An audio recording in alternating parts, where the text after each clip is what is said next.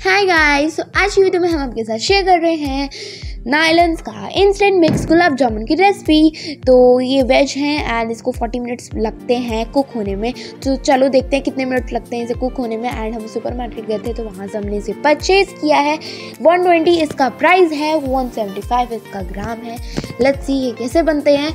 And बनाने के बाद ही पता चलेगा वो तो। तो हमने इसमें से, इसमें लिखा था कि वन मतलब थर्टी गुलाब जामुन बन जाएँगे।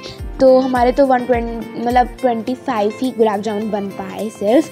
चलो कोई नहीं एंड देन इसमें सर कुछ पैकेट में से वो मतलब पाउडर फॉर्म में कुछ निकला था तो फिर हमने इंस्ट्रक्शंस को देख के इसमें पानी डाल दिया। तो इसमें वन कप लिखा था, पर हमें हाफ़ कप ही लगा। इसमें मतलब कि हमें तो हाफ़ कप से भी कम पानी लगा इसे मतलब डो बनाने में, एकदम सॉफ्ट सा डो बनाने में, और एकदम सॉफ्ट सा डो बन गया। देन हमने इसकी छोटे छोटे बॉल्स बना लिए ट्वेंटी फाइव बॉल्स हमारे बन गए। कुछ मैंने दो लंबे बना दिए एंड बाकी सारे गोल बना दिए एंड देन हमने इसे फ्राई कर लेना है।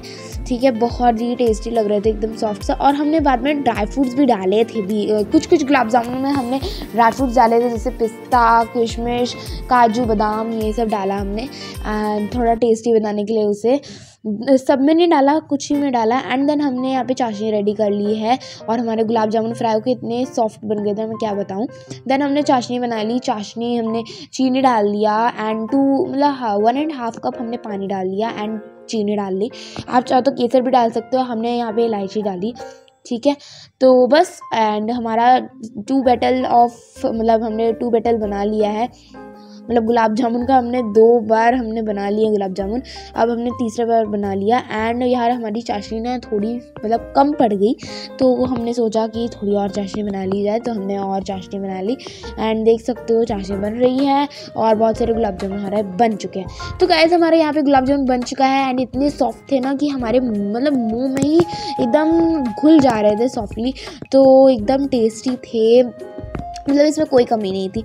तो अगर आपको ये रेसिपी अच्छी लगे तो कमेंट सेक्शन में ज़रूर बताना। So till then meet you in our next video bye